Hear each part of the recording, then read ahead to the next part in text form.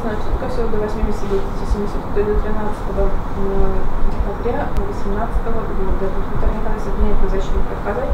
На настоящее постановление может обжаловаться в течение трех суток со дня вынесения. Понятно?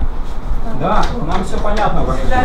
Сегодня нам незаконно и необоснованно в очередной раз продлили арест. Я согласен. Мы вынуждены пойти на последние крайние меры. С этого момента я объявляю голодовку. Я его поддерживаю.